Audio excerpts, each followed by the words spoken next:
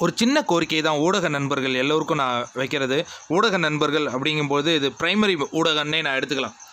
அதாவது என்னென்னா super star Rajinikanth அவர்கள் ஒரு அறிவிப்பு ஒரு மாவட்ட செயலாளரோட ஆலோசனை கூட்டத்தை நடத்துகிறாரு அதற்கு பிறகு உங்கள் ப்ரெஸ்ஸுக்கு முன்னாடி சொல்கிறார் நான் என்னுடைய முடிவை ஒரு சில நாட்களில் அறிவிப்பேன் அப்படின்னு சொல்லிட்டு அவர் வீட்டுக்கு போயிடுறார். அதற்கு பிறகு நீங்கள் விவாதம் அப்படிங்கிற பெயரில் நான் இங்கே பெயர் சொன்னேன்னா அது சரியாக இருக்குமா எனக்கு தெரியாது. பட் அவங்கெல்லாம் தலைவரை பற்றி தலைவர் ரஜினிகாந்த் அவர்களை பற்றி எவ்வளோ தவறான பதிவுகள் போட்டவங்கங்கிறது கண்டிப்பாக அழைத்த உங்களுக்கு தெரியும். ஏன்னா இன்றைக்கி சோஷியல் மீடியாங்கிறது மறைக்கலாம் முடியாது. அவங்களெல்லாம் கூப்பிட்டு கூப்பிட்டு தலைவர் அவர்களுக்கு எதிரான கருத்துக்களை நீங்கள் பரப்பிக்கிட்டு இருக்கிறது கேவலம் அந்த டிஆர்பிக்காக அப்படி டிஆர்பி வந்தால் என்னங்க வரப்போகுது? மிஞ்சி போனால் பணம் வருமா? சரிங்க அது உங்களுக்கு வந்ததுன்னா எனக்கு ரொம்ப மகிழ்ச்சி தான். ஏன்னா யார் ஒருவரும் தலைவருடைய பெயர் சொல்லி நஷ்டப்படுறது அவருக்கே பிடிக்காது. நீங்கள் லாபம் அடைஞ்சிட்டு போங்க. ஆனால் அதனால் எவ்வளவு பேருடைய மன ஓட்டங்கள் மன எண்ணங்கள் அதிர்வு அடைஞ்சிருக்கு அப்படிங்கிறது உங்களுக்கெல்லாம் தெரியுமா? ஒரு உயிர் போனால் கூட திருப்பி எடுக்க முடியாதுங்க. நீங்கள் கொடுக்குற அந்த நெகட்டிவான விவாதத்தினால எவ்வளவு பேருடைய மனம் கான்ஃபிடென்ட் உடஞ்சி போயிருக்கு.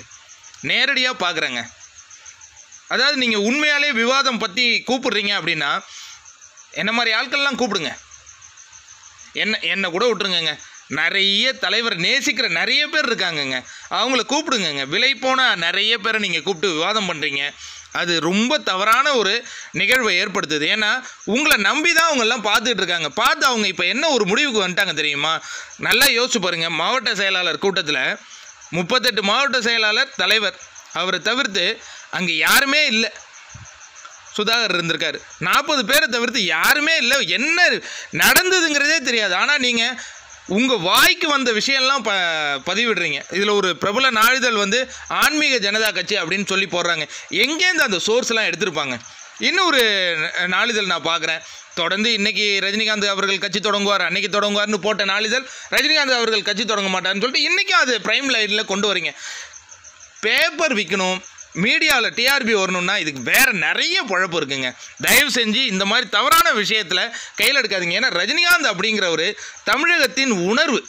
அவர் என்ன முடிவெடுத்தாலும் அதில் நிறைய உணர்வுபூர்வமான விஷயங்கள் இருக்குது நாங்கள் அவர் அரசியலுக்கு வந்தாலும் ஆதரிப்போம்.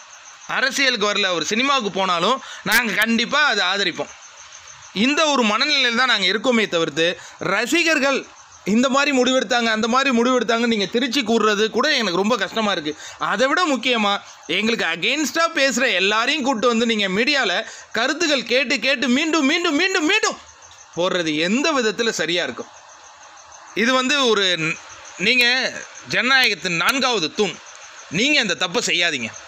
அவர் வந்தார்னா வந்தார்னு போடுங்க வரலன்னா வரலன்னு போடுங்க. அதுதான் உங்கள் வேலையை தவிர்த்து உங்களுக்கு தெரியாத விஷயங்களை நிறைய பண்ணிட்டீங்க ஏன்னா அந்த மீட்டிங்க்கு அவர் போகிறதுலேருந்து உள்ளே என்ன நடந்ததுன்னே தெரியாத நீங்கள் தொடர்ந்து தவறான விஷயங்களை பதிவு பண்ணிகிட்டே வரீங்க. இது ஊடக தர்மம் கண்டிப்பாக கிடையவே கிடையாது. கண்டிப்பாக கிடையவே கிடையாது. நீங்கள் ஏன் அதை பண்ணீங்க? டிஆர்பி காசு. பணத்துக்காக எதையும் செய்கிறது மனித தர்மமே கிடையாது. அப்புறம் என்ன ஊடக தர்மம்? தயவு செஞ்சு இனி உண்மையை ஆராய்ஞ்சு போடுங்க. நிறைய பேருடைய மன பலம் குறைஞ்சிருக்கு. அதுக்கு நீங்கள் காரணமாயிடாதீங்க. ஊடக நண்பர்களே நன்றி வணக்கம். நான் இந்த இடத்துல இன்னொரு பதிவும் சொல்கிறேன் நான் தொடர்ந்து பதிவுகள் போட்டுக்கிட்டே இருக்கிறேன். நானும் சாதாரண ஆள்லாம் கிடையாதுங்க. பட் என்னை உங்கள் முன்னாடி அறிமுகப்படுத்திக்கிறது கூட எனக்கு தேவையில்லாததான் படுது. ஏன்னா அவ்வளவு நெகட்டிவான விஷயங்கள். தலைவர் வருவார் நல் செய்தி தருவார். அந்த கான்ஃபிடென்ட்டில் மட்டும் இருங்க. உங்களுடைய உணர்வுகளை அவர் முன்னாடி திணிக்காதீங்க. இதுனா சூப்பர் ஸ்டார் ரஜினிகாந்த் அவர்களை உண்மையான ரசிகர்களாக யாரெல்லாம் ஏற்றிருக்கீங்களோ அவங்களுக்கு கை கூப்பி நான் கேட்டுக்கிறது. அவர் வந்தால் தமிழகத்துக்கு நல்லது. அதோடு நம்ம நிறுத்துவோம். வரலன்னா தமிழகத்துக்கு நல்லதில்லை. அவ்வளோதான் முடிவெடுக்க வேண்டியது மக்கள்.